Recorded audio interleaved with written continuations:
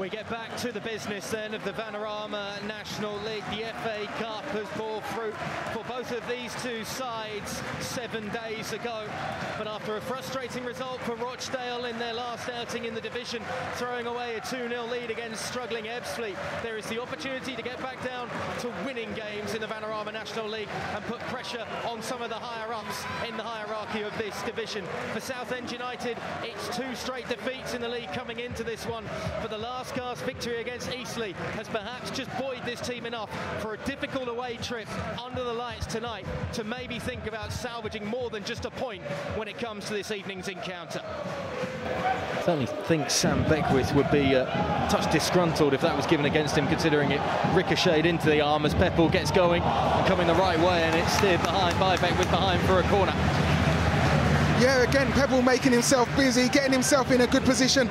Again, out here on that left-hand side, he's working that channel really well. Puts the ball in, looking for his, for his strike partner, Josh Walker, and it's cleared away from Beckwith, but Southend. And Taryn just pulls him back, gets a yellow card and rightly so. Plenty up for the set piece. Keeper's going to have to come and doesn't get there, and it's nodded wide of the target. Almost a sea of woes for David Robinson, who committed to getting to that and barely got a touch on it. It's Nathan Ralph who was providing the glancing header and was just glanced wide of the mark. Well, it's a fantastic ball, and you see the goalkeeper comes out, but he's nowhere near it. Nathan Ralph just rises above everyone, gets a flick on it, and he'll feel that he should have scored there. Anything on target, and that's 1-0 to Southend. Too predictable. Trying the nod down. He's able to find Berger, who takes up that position. Now East gives it across. Bayabu sends it in with Venom, but there's nobody on the end of it. Allarakhia was just arriving at the opposite flank, but couldn't get there in time for a wonderfully driven in ball by the 21-year-old. Well, they worked it really well. Got it out to Bayabu. His delivery just wasn't right. You know, that's the one where you just need to whip that, keep that low, allow the players to be able to go on and, and meet it.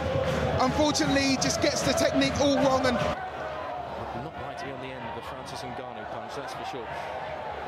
Nor a Ferreira one either. Drilled in towards that near post. A first opportunity for Kairo Mitchell to put himself in a threatening position, and it's behind for a corner. Well, that's a bad delivery.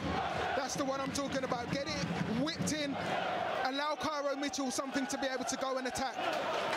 Going to be on the other flank now for that second period when we get back underway after the half-time break. A half-time break that is pretty imminent right now. Morton wanted it on the edge of the area. That's not a bad ball all the way across. Turned back across goal by Nathan Ralph. And surely it's going to be tucked in. And right at the death of the first half, Josh Walker says thank you very much. Capitalises on the pandemonium inside the 18-yard box. And Southend United's persistency pays off. And they have the breakthrough right on the stroke of half-time. And even the most positive man, Jim McNulty, will be hard to find a positive from the defending of that scenario. Well, Josh Walker gets a stroke of luck with the finish, but it comes from a fantastic ball put in. It, the ball's put back in. I think it's Nathan Ralph just hooks it back in. Josh Walker has a swipe at it, and I think because he miskicks it, it just allows the whole goal to open up, and then he makes no mistake with a with a finish, rolls it into an empty net. But it was a fantastic crossfield pass in behind the defence of Rochdale. And Nathan Ralph does brilliant. When we talk about the home of the NFL on the zone as well. She's often featured on their broadcast. Might as well put her in the Vanarama National League as well. Allarakhia in the meantime firing one towards that near post and just trying to catch the Cameroonian goalkeeper off guard, but it's well beaten away. It's the best moment though for Tarryn Allarakhia so far in this game. Yeah, good work from Alarakia. He just gets his man faced up, a little shimmy past Ralph, and hits a really good shot. Gotta say, goalkeeper does really well. Ralph inside the area. Another chance again, though, for East to provide. Everybody waiting for that ball in, and it's pinged up by Hogan and straight into the hands of the goalkeeper. Just couldn't quite make the contact, perhaps, that Leon Hogan wanted to. But it's a grateful goalkeeper that grasps that one out of the air. Well, again, fantastic delivery into the box. Liam Hogan just trying to get there, but I think Wind just gets ahead of him and gets it back into the safe hands of his goalkeeper. But like we said, alongside Mitchell to try and support East. Mitchell can't turn. Bayabu picks it up. It's cleared away, but behind for another corner. That's unlucky. You can see what Bayabu's trying to do there. Taylor just gets himself in a brilliant position, able to cut it out just before it can reach Mitchell, but good. The needle instead. Just couldn't guide it into Berger's path, but he checks back and keeps possession. East again.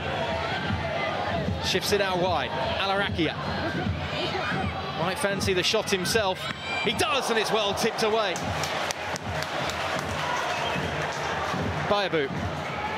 Berger. Finally a threat from the Dale here. Back with the youngster.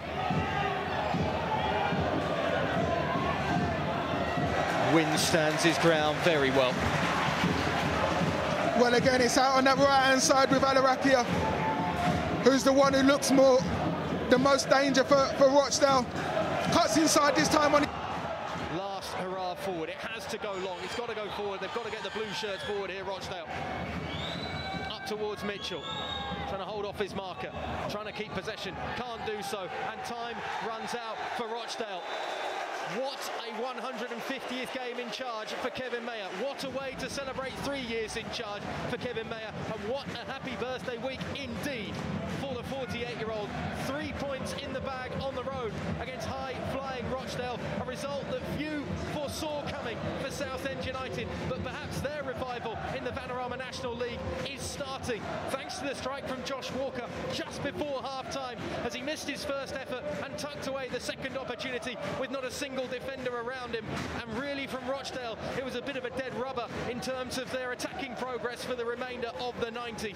Very little in terms of a response and very solid from Southend defensively, something we haven't said too often about the Shrimpers this season as it finishes here at the Crown Oil Arena. Rochdale nil, Southend United one.